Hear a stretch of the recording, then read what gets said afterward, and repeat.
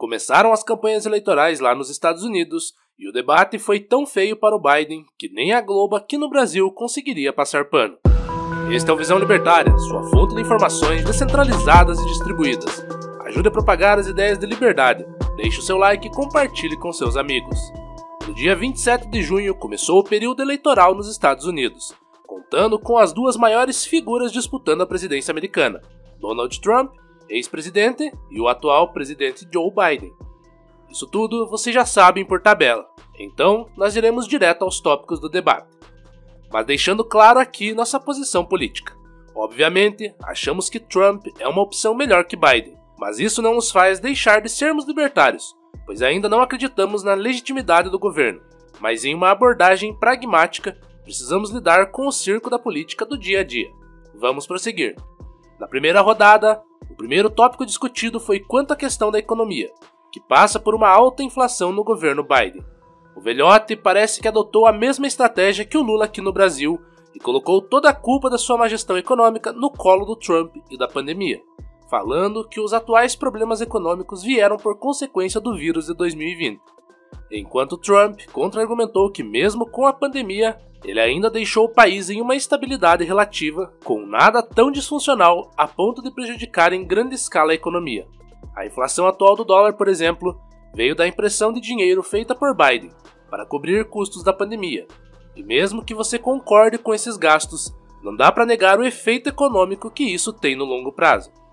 Outro tópico abordado para o lado da esquerda foi a questão da opressão das minorias, no qual Biden mentiu sobre que seu governo teve a menor taxa de homicídios de negros americanos, repetindo também o discurso populista da América Latina de dar casa própria para o pobre e outros jargões populistas fáceis, enquanto que o Trump, ironicamente, seguiu para o lado mais caricato e falou que a culpa era dos imigrantes que estavam inundando o mercado de trabalho e roubando o emprego dos cidadãos americanos. Nós, como libertários, Achamos essa questão de fronteira uma idiotice.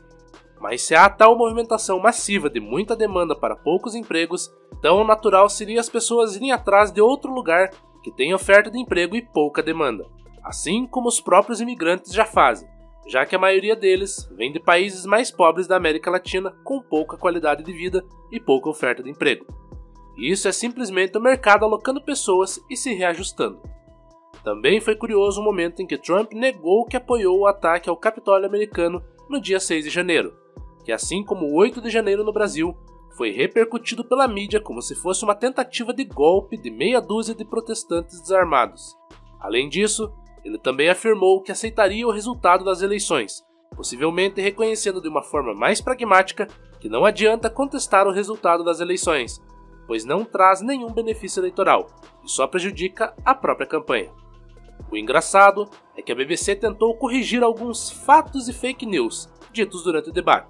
Entre eles, foi apontado sobre o Trump ter dito que deixou o governo dele com quase nenhuma inflação, após o Biden ter jogado a culpa da economia no governo Trump. A suposta fake news seria de que o dólar estava sim com inflação no final do mandato de Trump, contando com uma margem de 1,4%. O que raios está de errado nisso? A fala foi justamente sobre não ter quase nenhuma inflação, e não sobre não haver nenhuma inflação. Os jornalistas têm que se esforçar um pouquinho mais da próxima vez.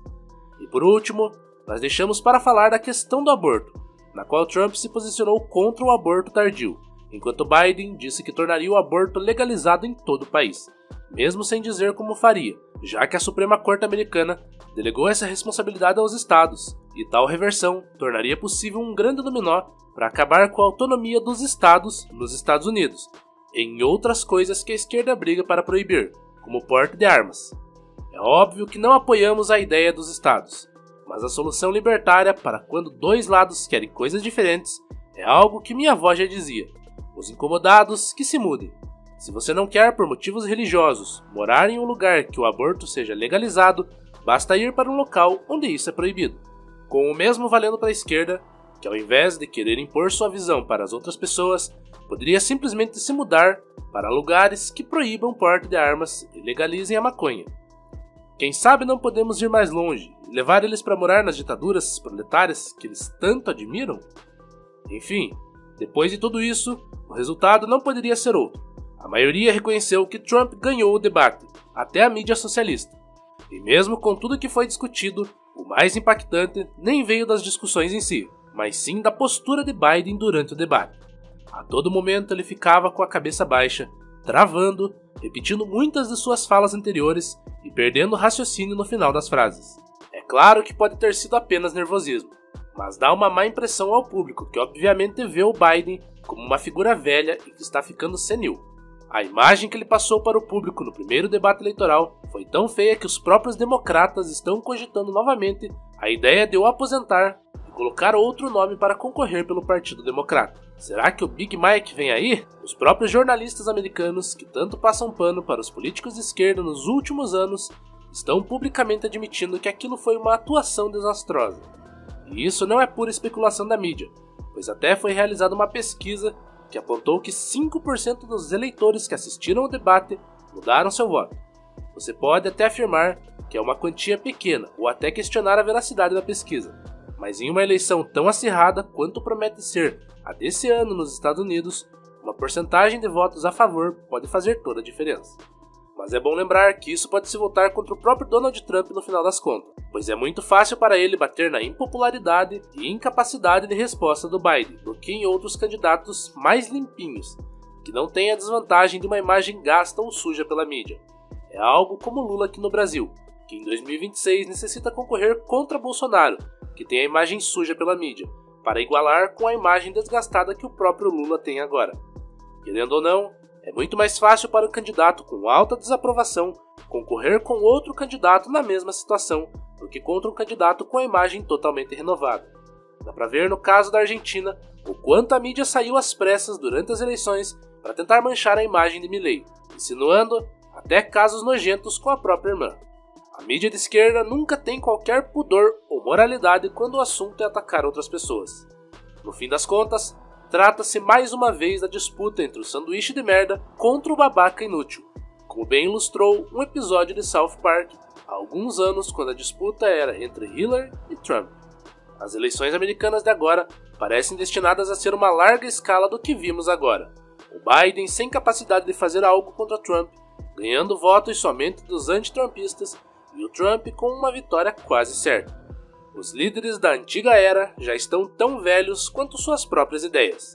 Estão todos com impopularidade e desaprovação, pois não conseguem lidar com um mundo novo que gira cada vez mais em torno do mercado. O futuro é a liberdade para as novas gerações. Obrigado pela audiência. Esse artigo foi escrito por Tom Félix, revisado por JJ Liber e narrado por Gordinho Caipira. Esse é um canal colaborativo.